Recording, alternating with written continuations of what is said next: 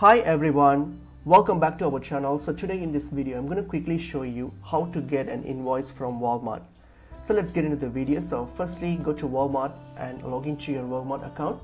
So once you've logged into your account here, so what you're going to do, you're going to go and click on your account here on your top right. You'll see your name. So that's your account. So click on it. And then when you click on it, you will see purchase history option.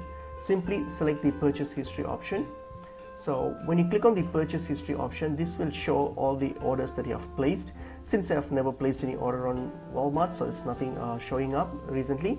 So what I'm going to do, so what you have to do is once you get to the purchase history option, scroll and then select the order that you want the uh, invoice for. So select the order and then once you select the order, you will see an option called see details on the order.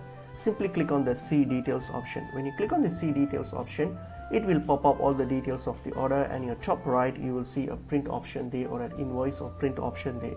So simply click on it and that will generate the invoice or show you the invoice which you can print or even save. It's up to you. So that's how you access the invoice.